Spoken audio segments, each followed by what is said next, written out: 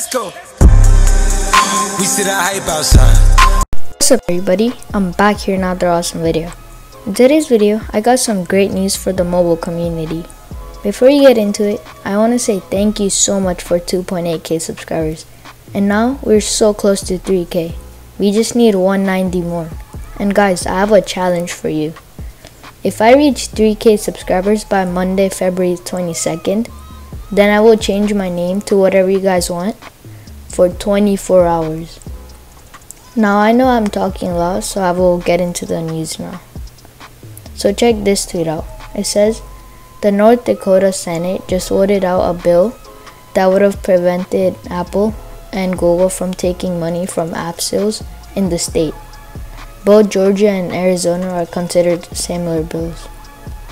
Guys, what this means is that they're saying that Apple um, can't just take money from an app, which they're doing with Fortnite. And if a lot of states agree with this bill, then Apple might be forced to bring back the game. So check this tweet out. It says, this means more states might attempt to prevent Apple and Google from taking a cut. And maybe all states will eventually make this a rule. Epic is really making moves. Yes, guys, Epic is doing big things to bring back this game. They also have to bring it bring this game back because I just found out that they passed I mean Roblox passed Fortnite in revenue just because of this app being banned. So guys, Fortnite Mobile being banned is affecting so many people, even PC and console people.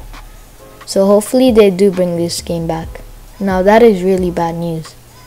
And now check how much um, let's see how much this app is affecting other consoles and PCs. So check this tweet out. It says, if mobile never comes back, then neither are console price pools. So guys, um, mobile is really affecting the whole game because they're spending so much money on the lawsuits that they turn down the price pool to shoutouts. So hopefully now they bring back the game.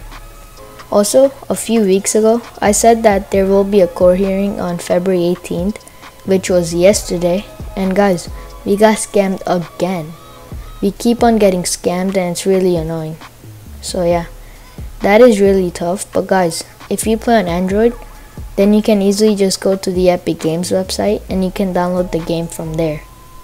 Unfor unfortunately, we don't have that option for us iOS players. So that is the video for today. I'm sorry it's a short one, but I just had to make this. And yeah, hopefully you guys enjoyed. And if you did, please drop us like and a sub. Thank you for watching and peace.